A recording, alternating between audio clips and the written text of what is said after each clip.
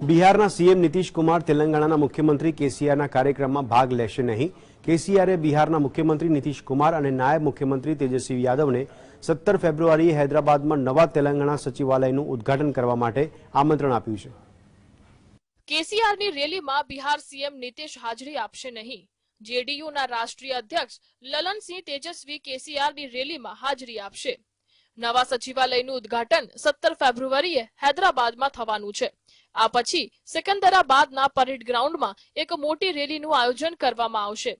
JDU અને RJD નેતાઓ ઉપરાંત ઝારખંડના મુખ્ય પ્રધાન હેમંત સોરેન, તમિલનાડુના સીએમ એમ કે સ્ટાલિન અને પ્રકાશ આંબેડકરને આ કાર્યક્રમમાં આમંત્રણ આપવામાં આવ્યું છે.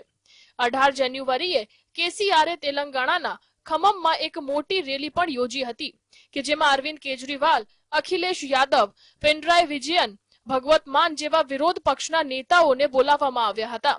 જો કે આમાં નીતિશ કુમારને આમંત્રણ ન મળવાને કારણે રાજકીય વર્તુળોમાં ચર્ચાનો દોર શરૂ થયો છે.